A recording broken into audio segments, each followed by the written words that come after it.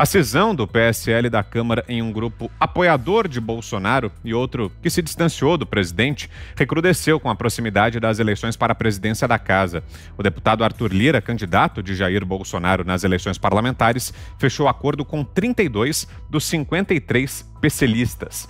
Essa ala, que constituiu maioria na legenda em apoio à Lira, tem 18 integrantes em um processo de expulsão e respondendo a acusações de infidelidade partidária. Já o grupo que se elegeu usando Bolsonaro e agora está apoiando Baleia Rossi tem os seguintes parlamentares: Aboani, Bozella, Charles Evangelista, Antônio Furtado, Marcelo Freitas, Pablo, Delegado Valdir, Fábio Schioché, Felício Laterça, Felipe Francischini, Peternelli, Gurgel, Heitor Freire, Joyce Hasselman, Julian Lemos, Bivar, Luiz Lima, Nereu Crispim, Nicolete, professor Josiel e Daiane Pimentel. Constantino. Pois é, o caso do PSL né, é um caso clássico de traição. Traição, porque vários foram eleitos é, surfando na onda bolsonarista, né? Eu dou os dois exemplos mais conhecidos, a Joyce Hassman, que eu já mencionei, e o Alexandre Frota, né? Que gostava de subir em palanques ao lado do presidente, fazer discurso, e nunca enganou ninguém sério, né? Qualquer um atento sabe que não dá para confiar em alguém como Alexandre Frota.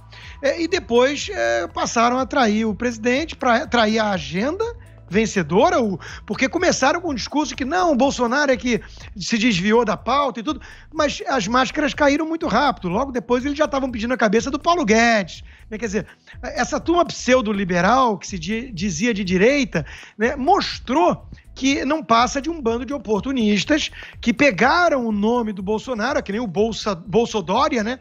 Pegaram o nome do Bolsonaro só para ser eleito mesmo. E agora estão aí, junto com os tucanos, fazendo o que a Ana Paula disse muito bem, né? Transformando alguém como o Botafogo da planilha de propinas da Odebrecht, que é o Rodrigo Maia, numa espécie de primeiro-ministro, de estadista do nosso parlamentarismo branco, né? E tudo isso uma piada de muito mau gosto, um duplo padrão ridículo, passaram um pano para arbítrio e abusos do, do Supremo Tribunal Federal desde que servisse para atacar o governo e por aí vai, né? É, sobre a questão do, do Maia com o PT ainda, né, nesse aspecto, eu quero lembrar que o próprio candidato a, a, eleição da Câmara, o Baleia Rossi, ele tuitou comemorando a chegada do PT na Frente Ampla e dizendo que eram muito bem-vindos para, abre aspas, eh, defender uma democracia firme e forte.